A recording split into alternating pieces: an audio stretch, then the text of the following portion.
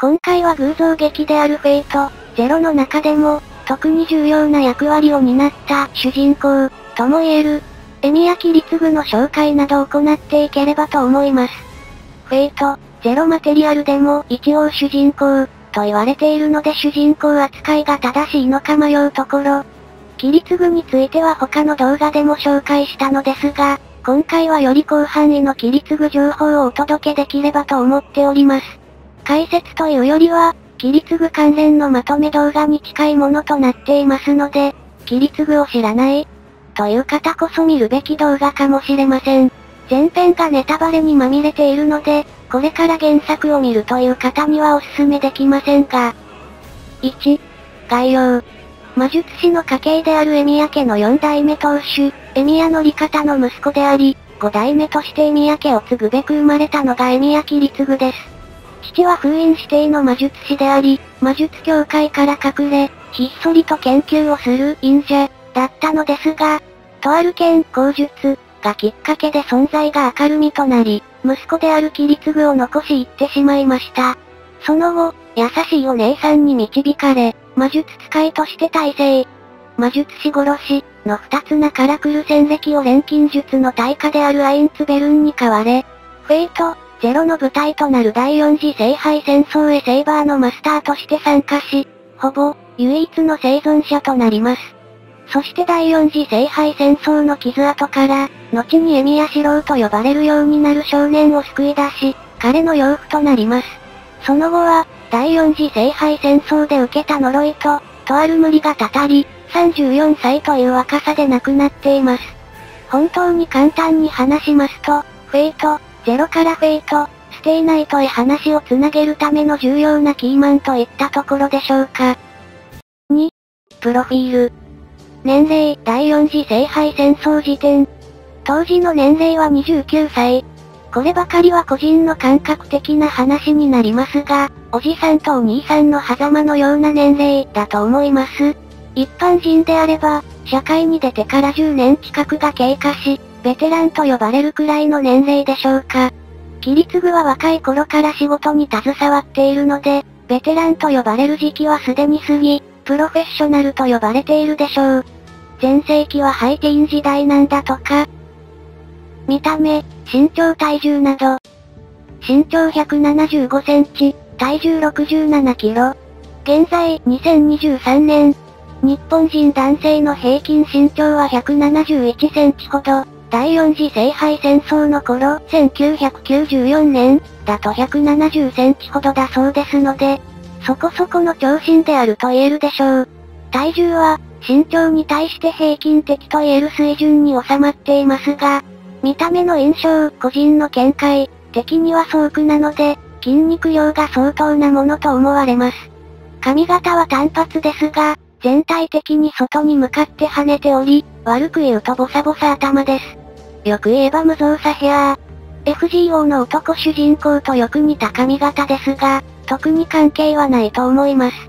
セルフオマージュなどの可能性はあるでしょう。顔は簡単に言うとイケオジに分類されるタイプで、ややこけた方と武将髭がいい味を出しています。服装は主に黒スーツ、黒コート、黒シャツという黒ずくめで、背後から襲いかかってあ、トキシンなど飲ませてきそうなものになっています。そして特徴的なのは彼のその目です。常に感情が消え去ったかのようにマットな目をしており、少々のことでは揺らぐことがありません。聖杯戦争が終わると、グレーの着物がトレードマークになり、表情も柔らかくなるのですが、感情が読み取れないながらも力強かったその目からは、生命力と言えばいいのか、覇気のようなものが消え去り、どこか弱々しく、穏やかなものになっています。人物像。戦いの根絶、高級的世界平和、という、ただ一人の人間が持つにはあまりにも大きすぎる願いを持ち、一切手段を選ばず、その実現を本気で目指している人物です。あらゆる人間を愛しながら、少数の犠牲の上に成り立つ多数の救済を何度も、何度も何度も繰り返しており、その度に大きな悲しみで自信を傷つけてきました。ただ単に多数を救うというだけであれば、人間を人間としてではなく、数字として見られたならば、彼が傷つくことはなかったのだと思います。しかし、エミヤキリツグという男の持つ感性はそれを許さず、今まで積み上げてきた少数の犠牲を無駄にしないために、彼はいつまででも少数の犠牲という負債を積み上げ続けていました。フェイト、ステイナイトの主人公、自身の義理の息子である士郎が人間のふりをしているロボット、と形容されるのに対して、キリツグはロボットのふりをしている人間、と例えられることがあります。本来のキリツグの完成では犠牲者をゼロにしたい、と、至極真っ当な願いを持ちながら、現実的にはそれが不可能で、少数には死んでもらう、という選択肢を取るしかありません。表面上は機械的にその選択肢を選び取り、淡々とそれを繰り返しているように見せていますが、悲しみを捨てきれないため、自身の行いに葛藤を抱き続けています。それゆえに人類という種全体が抱える闘争、すべてを終わらせるための奇跡を求め、ついには不可能を可能とする願望期を欲することとなったのです。エミヤキリツグという人物は、世界から争いを消し去るためであれば、自身の命も、他者の命も惜しまず、彼が参加する第四次聖杯戦争を最後の流血にするべく奮闘します。彼のあり方は非常に強い人類愛に支えられているのですが、それを体現する方法はどこか、獣、を感じさせるものとなっています。3. 魔術師として、根本的な話になってしまいますが、エミヤキリツグという人物は魔術師ではなく、魔術使い、と呼ばれる存在です。魔術師とは魔術という道を極めることで根源を目指す人たちのことで、魔術使いは魔術をただの道具として扱う人たちのことです。キリツグは魔術使いの例に漏れず、父から受け継いだ魔術は戦闘の道具として用いるのみです。根源のことなど考えたこともないと思われますが、根源に至ることで世界が救済できるなら検討したかも。起源は、切断、と、結合、魔術属性はそれぞれの起源に関連した火と土の二重属性となっています。使用する魔術は主にエミヤ家に伝わる時間操作を戦闘に応用したタイムアルターと呼ばれるもので、固有結界の体内展開を時間操作に応用し、自分の体内の時間経過速度のみを操作することで、たった2小節の詠唱で発動を可能とし、戦闘時に用いています。A 賞は、タイムアルター〇〇、倍率、アクセル、加速、スタグネート、減速。また、加減速を解除する場合には、リリースアルター、と A 称する場合があります。魔術によって、肉体能力とはまた別の加減速を可能にしており、アニメを見る限りは、加速を使用すると周りの時間が遅くなったように表現されています。その反対である減速を使用しても、周りの時間が早くなっていたりはしませんが、それがただの表現技法なのかはわかりかねます。また、タイムアルターを解除した際には世界からの修正力が働き、その反動で体に大きな負荷がかかることになります。個人的な見解ですが、例えば1キロを徒歩で歩くのが通常の状態で、全力疾走するのが加速なんだと考えています。一時的に魔術で加速し1キロの踏破を早めても、時間を早めた分の疲れは後からどっと押し寄せるような感じ、ではないかなと。原則に関しても、通常よりあからさまにゆっくりと行動することは大きな疲労を伴いますから、同じことではないかと思います。特に根拠はありませんので参考まで。この反動のせいで、通常の切り継ぐでは2倍速まで、無理をしたとしても3倍速までしか使用しませんが、アバロンを体に埋め込んだ時には4倍速まで使用しています。それ以上の加速が可能かは不明。戦闘時に加速を使用することで有利に立ち回ることができるのは明白ですが、原則はケイネス先生との戦闘時に気配を消すのに使用したくらいで、他にどういった場面で使用するのか気になるところです。4. 使用武器。起源弾。切り継ぐの魔術と一緒にお話しするか迷ったので、最初に起源弾についてお話ししておきます。まず片付き世界における起源とは、通常の物事の始まりという意味だけでなく、あらゆる存在が持つ、原初の始まりの際に与えられた方向づけ、または絶対命令。あらかじめ定められた物事の本質、と定義付けられています。すなわち、それが一体どういう存在であるのか、はあらかじめ決まっており、どんなものも起源によって様々な特性を持つということです。わかりやすい例で言うと、からの教会に登場する知らずみりおという人物は、その起源である、食べる、が表出したことで、物理的に不可能なはずの人一人を食べきる、ことを可能にしたり、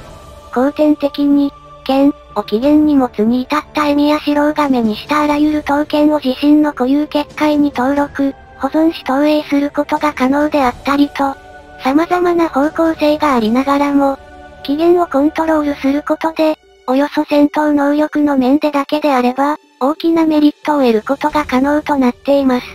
エミヤキリツグの起源は、切って、つなぐ、ことであり、キリツグ、という名前は父、乗り方が彼の起源を元に命名したものです。起源弾は切り継ぐ自身の肋骨を封入した特殊弾を使用して、弾丸を命中させた対象に切り継ぐの起源を無理やり発現させるというもので、魔術によってこの弾丸に干渉した魔術師は、魔術回路が破壊された上でめちゃくちゃに結合され、結果、魔術回路に走っていた魔力は暴走し、術者自身を傷つけることとなります。この現象は電気回路のショートに例えられており、回路短絡によって電流が回路そのものを破壊する、魔術回路でも同様であり、ダメージの大きさは弾丸に干渉した際の魔力量に比例します。完全に防ぐには物理的に防がなければならないのですが、それが事実上不可能なトンプソン、コンテンダーから発射されるという、凶悪極まりないガード不能技としています。キリツグは魔術師との戦闘時にて挑発や陽動を行うことで、相手に最大限の魔力で起源弾を防御させ、その効果を最大に引き出す戦術を用いてきました。弾数は合計66発存在。このうち、キリツグは第4次聖杯戦争までに37発を消費し、1発のうち損じもなく37人の魔術師をこの初見殺しで消滅させています。ケイネス先生との戦闘時も、入念な下準備魔術師という存在を侮った攻撃など、を行った結果、彼が起源弾を防ぐ時に全力を注いでいたため、全身の魔術回路が暴走、内臓はほぼ壊滅し、体中の筋肉と神経がくまなく破損。即死しなかっただけでも奇跡的であり、魔術師としてはもちろん、人間としてもケイネス先生は再起不能状態に陥ることになりました。この時にグランド人形師に義手を作ってもらったり、この損傷が原因で魔術刻印がほとんど継承できなかったりと、事件簿でも語られるエピソードが生まれているのですが、今回は割愛。トンプソンコンテンダー。エミヤキリツグの代名詞的な拳銃であり、起源弾を発射するのにも使用されています。正式名称はトンプソン、センター、アームズ、コンテンダー。トンプソン、センター、アームズ、が会社名で、コンテンダーが銃の名前です。重心の種類が用途に応じて多数用意されていますが、キリツグが使用している重心は魔術的工程で誕生したお手製のものとなっています。多数の重心が用意されていることによって、幅広い種類の弾丸を発射できることが特徴で、その中でもキリツグが使用しているのは、30オート6、スプリングフィールド弾、です。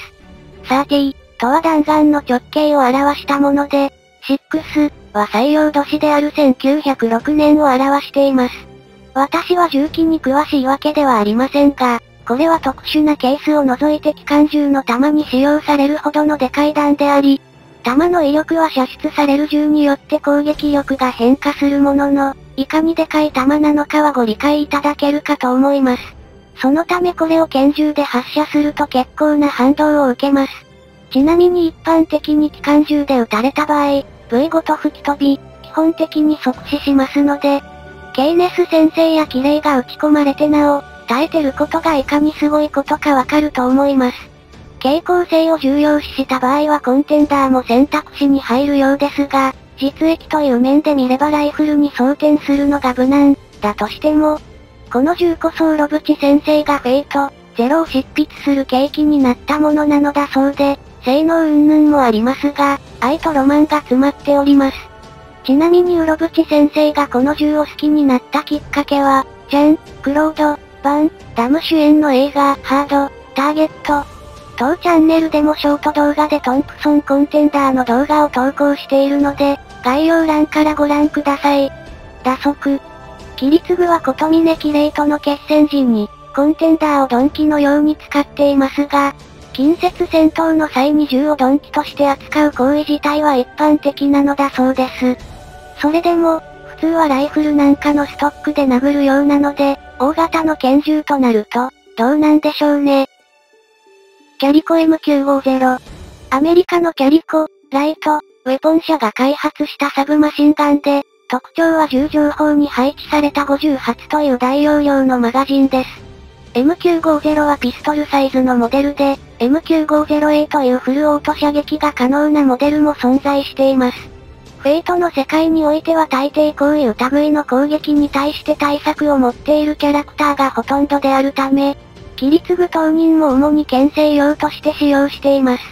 琴峰キレイとの決戦時には3秒しか足止めできないところを、この銃の牽制によってなんと5秒もの間足止めすることに成功しました。が、戦術的価値はそこまででもなかったそうな。50発装填可能な弾倉が魅力なのですが、通のサブマシンガンで30発の弾倉を2つ用意した方が実用的だった、というのが公式見解です。ワルサー WA2000。キリツグが使用していたドイツ製の狙撃用ライフルです。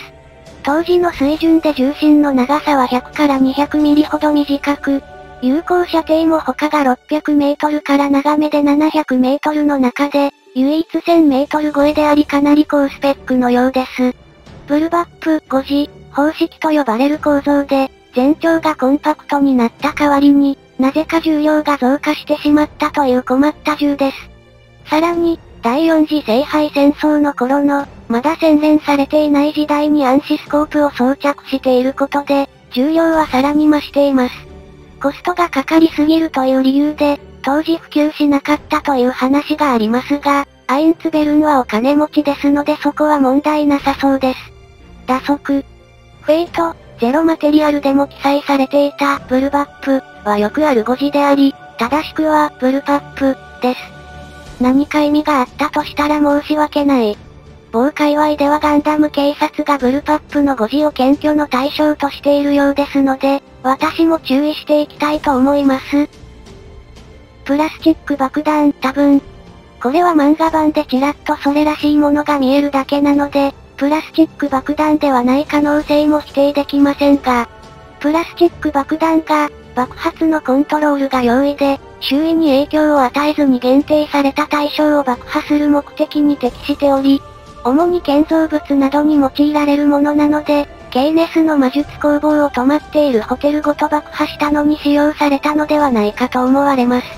幸い、事前に起こしたぼや騒ぎによって宿泊客は避難を終えていましたが、いきなりビルを吹き飛ばされたオーナーは無事でしょうか主に懐事情的な意味で、見た感じ40階建てくらいのシティホテルですので、建設費用だけでも数十億円は下らないと思われますが、保険は効くのでしょうか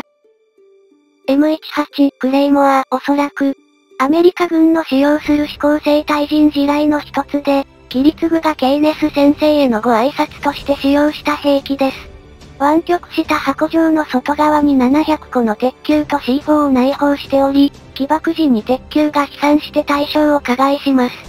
アニメ版では最低でも3機が起爆していますが、胸像に偽装されているため、実際には M18 ではないかもしれません。価格は1機当たり約250ドル程度。金銭的には新品のプレステ4を爆破しているような感覚ですね。ケイネス先生は罠にかかり、プレステ 4×3 台分の爆発を受けながらもボール面、ハイドラグラムで防御し、平然としていました。クレイモアの鉄球一つ一つの威力は、強力な空気銃程度と言われているので、仕方ないですね。タレス・ブローパイプ。1975年より、イギリス陸軍及び海兵隊に導入された個人携行用の対空ミサイルで、父親代わり兼母親代わり、傭兵、魔術使いとしての師匠でもあったナタリア、カミンスキーが乗る飛行機を撃墜した際に使用されました。この武器が手動式の誘導装置を備えており、発射機に装備されたジョイスティックを操作することでミサイルの軌道を変更できるようになっています。また、ジョイスティックの他にも自爆ボタンも備え付けられており、直撃させることができない場合でも、ミサイルを自爆させることで、爆風によるダメージが期待できるというものです。ちなみに、アニメ版で使用されたのはスティンガーと呼ばれるミサイルで、こちらには赤外線、紫外線を使用した、高性能な自動追尾装置が備わっています。手榴弾。特に名称が明らかにされていませんが、琴峰キレイとの戦いが決着する直前、残った武装を確認するキリツグが持っていたものです。漫画版を見る限り、アメリカやカナダの軍隊が採用している M67 破片手榴弾、ではないかと思われます。その形状がリンゴによく似ていることから、アップル、グレネードと呼ばれたりすることもあるようです。この手榴弾は、爆発自体で対象を加害するものではなく、爆発時に金属製の破片を飛散させることで攻撃するものであり、攻撃範囲が広いため、真正面切っての近接戦闘ではまず使い道がないでしょう。ナイフ。特に型番などがわかるような描写はなかったので、具体的にはわかりませんが、峰の部分がギザギザになっているため、いわゆるサバイバルナイフと呼ばれる種類のナイフだと思われます。切り継ぐの性格的に、スペツナズナイフのような、何か仕掛けのあるナイフでもおかしくないとは思うのですが、もしこのナイフの名称などわかる方がおられたらコメントお願いします。コルト M1903、コルト32オート。少年時代の切り継ぐがとある男を射殺するのに使用した武器で、ナタリア、カミンスキーが貸してくれたものです。ナタリアは単に32口径と言っていましたが、形状からすると、おそらくコルト M1903 ではないかと思われます。第二次世界大戦の時期にアメリカのコルト社によって開発された重心で、割と最近まで生産されていた命銃のようです。撃鉄がスライド内部に隠れているため、隠し持つことが容易になっており、情報員や工作員も愛用していたのだとか。ナタリア曰く、至近距離から落ち着いて狙えば、子供でもきちんと当てられる。5、切り継ぐの活躍、人生。5の1。切り継ぐの少年時代。切り継ぐの起源が、切って、つなぐ、というものだということはすでにお話ししましたが、エミヤ切り継ぐという人間を形作った大元、原因という意味の起源であれば、それは間違いなく、有馬五島での出来事、が発端であると断言できます。幼少期の切り継ぐは、魔術協会から封印指定されている父、エミヤの利方に連れられ、わずか30個余りの漁村が今日構える南国の小さな島、有馬五島へと移り住みました。そこで魔術の研究に勤しむ父、そして父の助手として研究を手伝う少女、シャーレイ。この島の人には、キリツグ、という発音が難しいらしく、キリツグは、ケリー、ケリプグ、と呼ばれています。一般人ではあるものの、非常に優秀だったシャーレイを乗り方は重宝しており、キリツグは、シャーレイが父の研究を継ぐに違いない、と考えていました。しかしシャーレイはそれを否定し、乗り方の研究はあくまでも切り継ぐに引き継がせるためにあると話します。じゃあさ、僕が父さんの研究を引き継いだら、シャーレイは一緒に手伝ってくれる。いいよ、ケリーのそばにいてあげる。私の人生をケリーに預けるよ。恋する少年、ケリーはシャーレイの発言にドキドキ。いつか父親の研究を引き継いだらその時は、などと夢を見ていられる期間は非常にあっという間に過ぎました。ある日、いつも父親の研究を手伝っていたシャーレイが家に来ないことを心配したキリツグは、シャーレイを探して村を訪れます。シャーレイを見つけたのは鶏小屋の中。血にまみれたシャーレイと、多数の息絶えた鶏。乗り方を尊敬していたシャーレイは、乗り方の研究が人の役に立つものであると証明するために、彼が作った試薬を無断で使用した結果、その身を人へと変貌させてしまっていました。このままでは自分がいずれ人を襲うことを危惧したシャーレイは、キリツグに自分を殺すことを頼むのですが、まだ子供のキリツグが、大好きなシャーレイにそんなことができるはずもなく、キリツグはシャーレイを助けたい一心で、彼女を助けられる人を探すためその場を離れたのですが、その結果、島には人とグールが大量発生することとなり、それを狩る教会の代行者と、教会の魔術師たちが島を訪れる事態に。この時登場する教会の魔術師の一人が棒赤雑魚に似ていると言われていますが、真偽は不明。炎に包まれる有馬五島でしたが、運よく騒ぎから逃れたキリツグはナタリア、カミンスキーと名乗る女性と出会います。島の状況を説明してくれるナタリアは、その騒ぎの元凶となった悪い魔術師の心当たりがないか、とキリツグに尋ねました。無事に家に戻ったキリツグは、父に問いかけます。シャーレイの身に起こったことを父さんは知っていたのかなぜ父さんは人の研究をしていたのか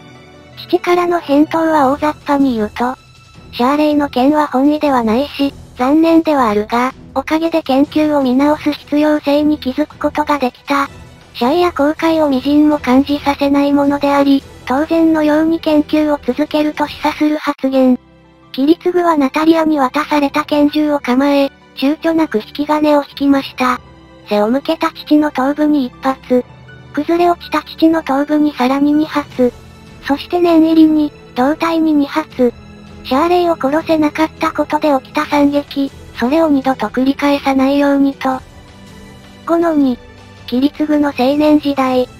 有馬五島の事件の後、キリツグは天外孤独の身となったわけですが、悪い魔術師を狩るという仕事を手伝いたいといったキリツグの願いをナタリアは聞き入れ、共同生活を始めることになりました。ナタリアは魔術協会に掛け合い、エミヤ家の魔術刻印を2割ほど回収、キリツグに移植し、道具としての魔術、を教えました。他にも追跡術、暗殺術、多種多様な兵器の取り扱い、殺人のテクノロジー、とでも呼ぶべき技術をキリツグに教え込み、キリツグが望んだ通り、補佐として仕事を手伝わせています。キリツグがナタリアに拾われた数年後、ナタリアが標的である魔術師、夫、ボルザーク、を飛行機の中で殺害したのですが、魔法使いの異名を持つその魔術師の死後、彼の体内からは刺した相手をグールにする蜂、が解き放たれ、機内の人間はナタリアを除いて全て、乗客300人に加えて操縦士までもグールと化してしまいました。パイロットを失った飛行機は墜落する運命にありましたが、ナタリアでもただ飛ばすだけであればなんとか可能だったのは不幸中の幸いでした。管制塔と連絡を取ることができたナタリアは管制官の指示に従い、空港への着陸を目指すことになります。しかし、ナタリアが旅客機を無事着陸させるということは、300体以上のグールが解き放たれるということです。たった一人の命を救うために、空港にいる人たちの命を危険にさらすことになる。キリツグはそれを容認することができませんでした。もしもナタリアが着陸に失敗したのであれば、そのおかげで被害を最小限に抑えることができた、と自信を慰める行為は正常な反応ですが、ナタリアが万が一にも着陸を成功させないように、彼女を確実に殺す。そんなことを考えている自分は本当に人間なのか、キリツグは己の行動原理に疑問を抱えながらも、多数を救うために、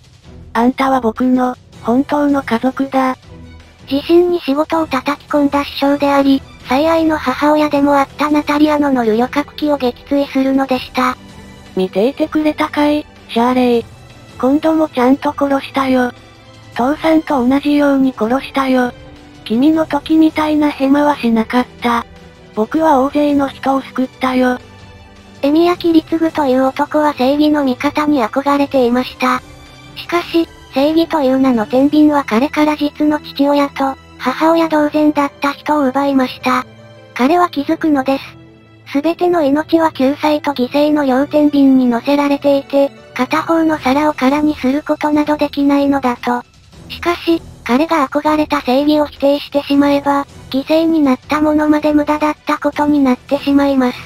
だからこそ彼は、その犠牲を無駄にしないように、彼の追い求める正義に従って、さらなる犠牲を積み上げるのです。彼は分け隔てなく多数を救い、平等に少数を殺し尽くす。ナタリアを失って2、3年間、キリツグはあまたの戦場を渡り歩き、正義を執行していく中で彼の殺人技術は磨かれ、界隈では魔術師殺し、として名が売れていくこととなります。5の3、第4次聖杯戦争のキリツグ、エミヤキリツグ、20歳、その卓越した殺しの技術を買われ、アインツベルン家のマスターとして聖杯戦争への参加を打診されたキリツグは、聖杯に自身の願いを託すことを決め、以降9年間にわたって戦場を離れることになります。アインツベルン家の手厚いサポートのおかげで、およそ考えられる中で最強のサーバントを召喚したキリツグでしたが、召喚されたのは彼にとって最悪とも言える剣の英霊、アーサー王。キリツグは戦場で拾った元少年兵の女性ヒサウマイヤと、アインツベルンのホムンクルスであるアイリスフィール、そしていくらかの不安要素とともに、3度にわたって失敗している魔術儀式へと挑むことになりました。初戦、キリツグとセイバー、主従としては最悪とも言える相性の二人でしたが、アインツベルンの城でお姫様のように過ごしていたアイリスフィールと、騎士であるセイバーとの相性は抜群でした。また、アイリスフィールが表に立つことでマスターだと誤認させるために、アイリスフィールとセイバーは行動を共にすることになりました。セイバーのエスコートに従って初めての外界を楽しむアイリスフィール、そこに他のサーバントからお誘いが届きます。お誘いの主はランサー、ディルムッド。日本の槍を操る騎士からの誘いに応じたセイバーは、アイリスフィールと共に戦いに臨みます。セイバーとランサーが尋常な勝負を繰り広げる中で、戦いの舞台となった不当には狙撃手の影。騎士の誇りにも、魔術師の教授にも、けほどの関心すら抱かないキリツグは、2機のサーバントに引きつけられて現れるであろう。他のマスターたちを殺害すべく、不当に潜伏していたのですが、敵も去る者。手を出せば自身が標的になりかねないため、この場は様子見に徹しなければならないと判断したのもつかの間。続々と現れるサーバントにマスター、戦場は混沌を極めていました。刻一刻と変化していく状況の中で、やむを得ず攻撃に移ろうとしたキリツグでしたが、ランサーがセイバーの援護に回ったり、バーサーカーが暴走したり、ライダーがその場を収めたり、ひとまずその場ではキリツグの存在が明るみに出ることはなく、セイバーが負傷するという結果で初戦は終幕となります。ケイネス、エルメロイ、アーチボルト、1。初戦でのセイバーの負傷。これはランサーが持つ槍によるものであり、ランサーを倒すか、ランサーが自身で解除する他に治療方法がありませんでした。自陣の戦力を回復させるべく、キリツグはランサーのマスターであるケイネス、エルメロイ、アーチボルトを標的と定め、攻撃を実行します。最初に行ったのは拠点の破壊。キリツグに狙われるであろうことを覚悟していたケイネスは魔術師として、ご自慢の魔術工房にて迎え撃つつもりでした。しかしキリツグは魔術師の戦い方に付き合うような男ではありません。キリツグはケイネスを拠点ごと葬るべく、ケイネスが工房を築いていたホテルを爆破、倒壊させます。この時、キリツグは事前にホテル内でぼや騒ぎを起こすことで、無関係の宿泊者が退避するように仕向けていますが、それは正義を最優先とするキリツグであれば、普通は行わない、余分な行動でした。万全を期すのであれば、一切の予告なく、宿泊客もろともホテルを攻撃するべきだったのです。無関係な人間を逃がすような行為は甘さであり、以前の自分であればありえない。アインツベルンで過ごした9年というブランクを取り戻すため、キリツグは自身の行いを反省し、冷酷さを取り戻そうと努めました。ケイネス、エルメロイ、アーチボルト、2。キャスター組が秘匿を行わないままに番号を繰り返すことに業を煮やした監督者は、キャスターとそのマスターを討伐対象と認定。それを達成した聖杯戦争参加者には、監督者から報酬が授けられるという状況で、キリツグはキャスターに付け狙われているセイバーを利用し、自陣の拠点であるアインツベルンの城にて、キャスター及びキャスターを狙って現れるであろうサーバントとマスターを狩るという作戦を立てます。しかしそれはキャスターをあえて放棄するということと同義であり、キャスターの強行が続くということを意味しています。清廉な騎士であるセイバーにしてみれば、そのような作戦は受け入れることなどできませんでした。しかし、キリツグはセイバーを完全に黙殺。そこには何も存在していないかのように、アイリスフィールとマイヤにだけ作戦を伝えるのみです。しかし、それはキリツグにとっての正常な判断で行っていたというわけではありませんでした。アイリスフィール、そして彼女との間に生まれた我が子エリアスフィール。守るべきものを手にしてしまったキリツグは、以前のように冷酷になりきることができず、余裕のない彼は、セイバーをうまく使う、ような判断を下すことができず、ただ拒絶することしかできませんでした。今にも崩れ落ちそうなキリツグを、アイリスフィールは力強く慰めていたその時、想定した通りに敵が現れます。セイバーがキャスターの迎撃に出向いた後、キリツグは場内でケイネスを迎え撃ちます。倒壊したビルに巻き込まれ死亡したかのように思われたケイネスは、まだ生きていたのです。堂々と入場してくるケイネスに対し、タイムアルターと重機、近代的なトラップなどを利用して攻撃を加えていくキリツグ。しかしそんなものはエルメロイの史上霊装の前で何の役にも立たない、と見せかけて、コンテンダーによる銃撃でケイネスに停滞一撃を与えることに成功します。しかしこれらは全てただの布石。コンテンダーに装填されている30オート6スプリングフィールド弾は、防護膜として使っている水銀では防ぐことができない。そうケネスに認識させるためのものでした。コンテンダーによる攻撃を防御する際には、力を込める必要があると感じたケイネスは、期限弾を全力で防御し、再起不能となりました。切り継ぐが切り札をどのように使うのか、なぜ魔術師殺し、と呼ばれているのか、ケイネス先生を生贄に、それを強調するとても良いエピソードでしたね。キャスター討伐。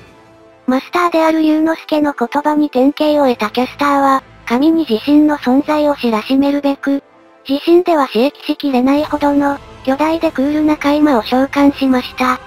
キャスターの制御下にない巨大海馬は、放っておけばひたすら食事に勤しみ、数時間で街一つ食い尽くす。しかしそれを見逃す英霊たちではありません。キャスターの存在を重く見たマスターたち、そして彼らのサーバントは共同戦線を張り、巨大海馬へと挑みます。一方その頃キリツグは、戦場となっているミオン川河口付近からキャスターのマスターであるユウノスケを狙撃すべく、ライフルに装着してある赤外線スコープを覗いていました。戦場には霧が立ち込めていたのですが、魔術回路を霊気させている魔術師特有の放熱パターンを探し、見事に狙撃に成功します。けれど海馬は止まりません。マスターを排除しただけでは魔力供給が途絶えるだけで、即座に消滅するというわけではないからです。海馬が食事を始めてしまうと、状況がより悪くなってしまう。そこで起点を聞かせたライダーによって、彼の宝具である固有結界の中に一時的に海馬を閉じ込め、その間に作戦を練ることに。紆余曲折、騎士道精神への挑発。あり、ランサーが自身の槍を折ることでセイバーの負傷が回復。海馬はセイバーの宝具、エクスカリバー、で消し飛ばされました。この時キリツグは、用意した船を干渉剤にすることで、エクスカリバー、が余計な被害を出さないように立ち回っています。セイバーの宝具によって被害が出てしまえば本末転倒ですし、聖杯戦争どころではありませんから、切り継ぐとしても当然の判断だったのでしょう。ケイネス、エルメロイ、アーチボルト、3。すでに魔術師として再起不能なレベルのダメージを負っていたケイネスに代わり、ランサーの霊樹を引き継いだケイネスの婚約者ソラウ、ヌアザレ、ソフィアリ、彼女は聖杯戦争を有利に進めるため、真意は別にありますが割愛。ランサーをキャスターの討伐に参加させており、キャスター討伐の後のランサー不在を狙ったヒサウマイヤによって、誘拐されます。その際にソラウは、霊樹を宿した右手を切り落とされており、ランサーとのつながりを断たれてしまった彼女は、割愛。その頃ケイネスはというと、キャスター討伐に参加したこと、そして自身のサーバントが大活躍したことを引き合いに出し、監督役であること峰理性神父から一角の霊樹を譲り受け、他のマスターたちが同じ恩恵を得ることを危惧したケイネスは、霊樹を受け取ったその場で理性神父を射殺し、仮の拠点へと戻りました。この時、理性神父は息子である綺麗に監督役を引き継ぐべく、ダイイングメッセージを残しています。拠点へと戻ったケイネスはソラウがさらわれたことを知り、自身の婚約者を守ることができなかったランサーをなじり、罵倒し、そうしている最中、ランサーが招かれざる来訪者の接近を知らせます。ケイネスは迎撃を命じ、ランサーは拠点を訪れたセイバーと、その横に立つアイリスフィールを迎え撃ちました。騎士として、いずれ決着をつけることを互いに誓っていたセイバーとランサー。初戦からしばらくお預けを食らっていた名誉ある戦い、がここに始まりました。しかし、そんなものを望むキリツグではありません。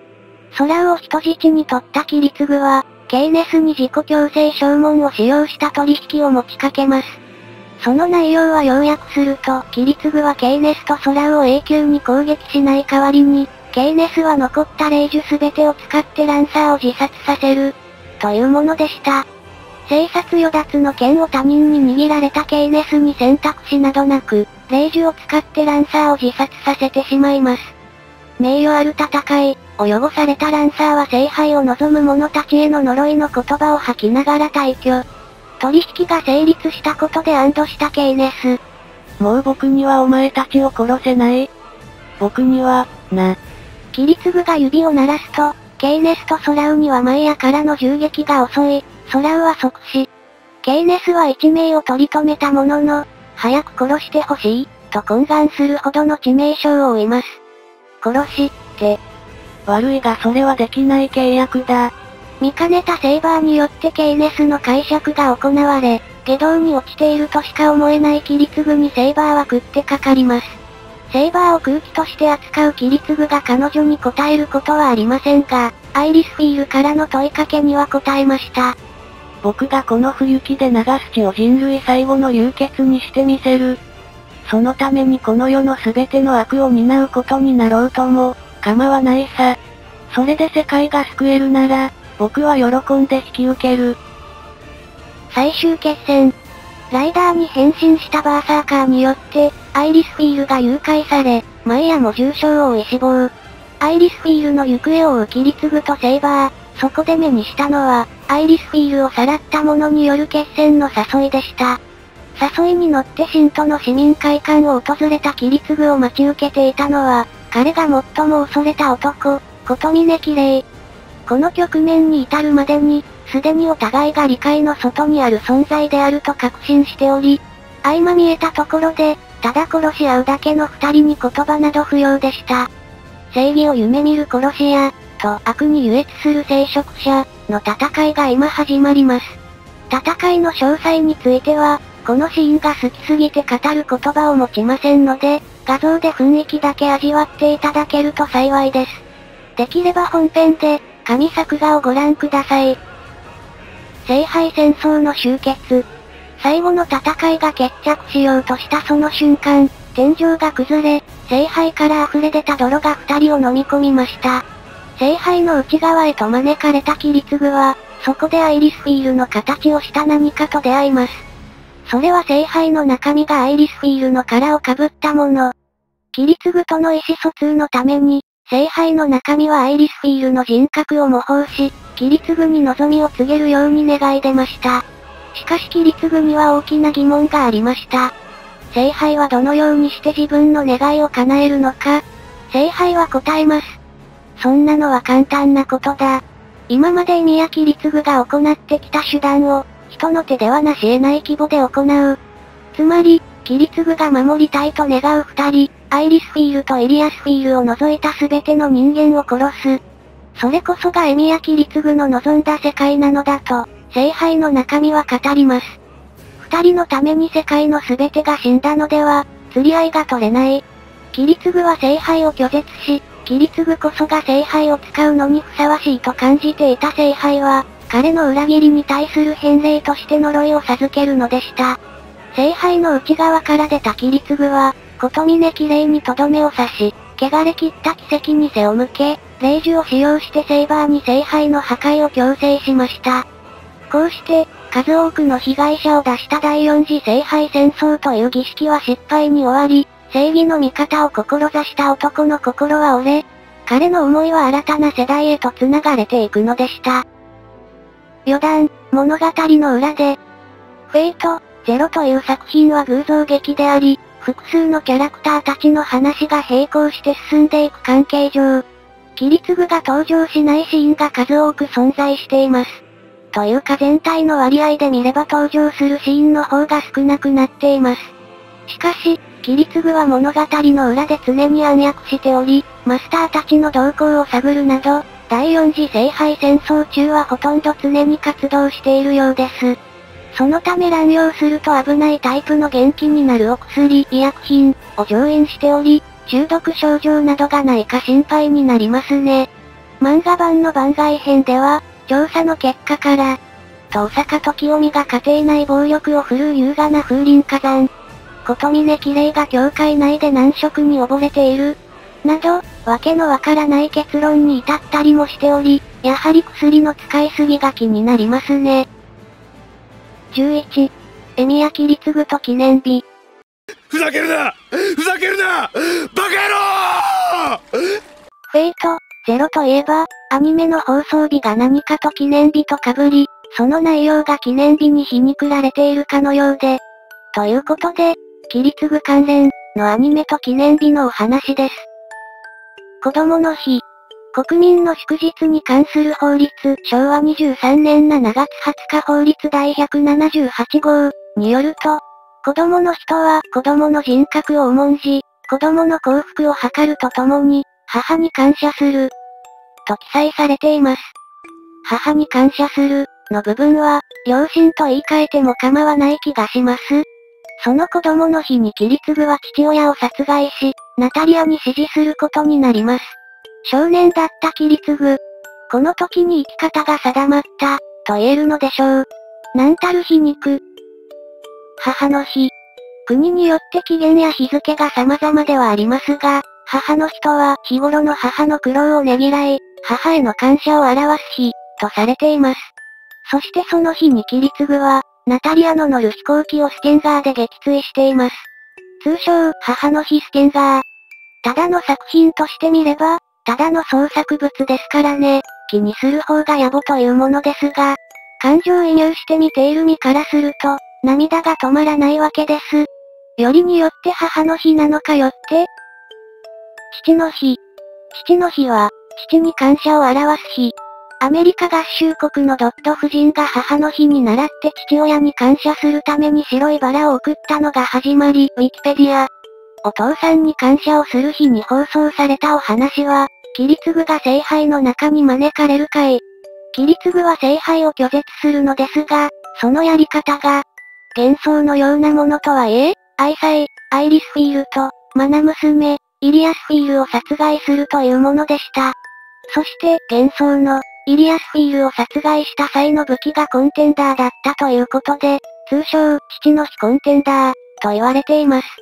記念日であろうとなかろうと、すごく悲しい回なんですが、今日は記念日だよ、と言われるとぐさっとくるものがありますよね。キリツグの誕生日。11月11日、ポッキープリッツの日。でもあるのですが、キリツグのイメージに合いそうな記念日で言えば、第一次世界大戦停戦記念日、です。世界から争いを根絶したかったキリツグにぴったりですが、世界大戦が再び発生していることも考えるとこれも皮肉が効いているというかなんというか。とまあ、記念日に関するお話でしたが、地方や放送局によっては日付が違いますので、話半分に聞いておいていただければ幸いです。今回の動画は以上になります。これからも型付きのキャラ解説や設定解説を行って参りますので他の動画も見てもらえると嬉しいです。また、チャンネル登録もよろしくお願いいたします。では次回の動画でお会いしましょう。